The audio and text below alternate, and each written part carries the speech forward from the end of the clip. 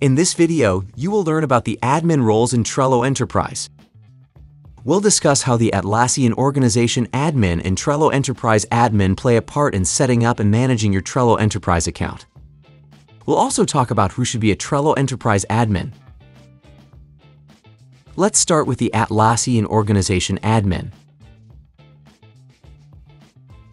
The Atlassian Organization Admin manages the Atlassian accounts of employees at your company, as well as adding products and product access. These admins play a crucial role in setting up Trello Enterprise. They can verify domains, configure single sign-on, and manage users' Atlassian accounts.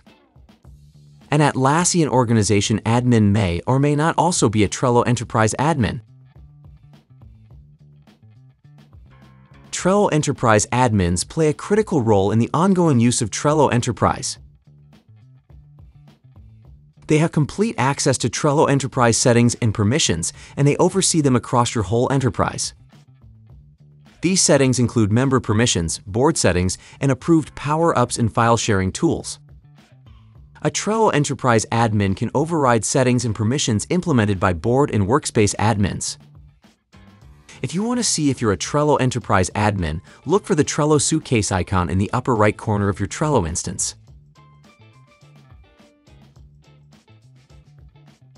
Finally, let's discuss who should be a Trello Enterprise admin.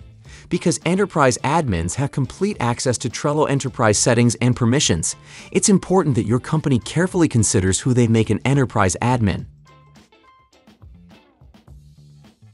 Typically, Trello Enterprise admins are members of your IT department.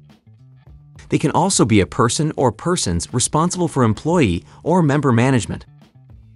A system or network administrator is also a good candidate for a Trello Enterprise admin. Every company is different, and determining who makes the cut as an enterprise admin may be unique to your company's needs.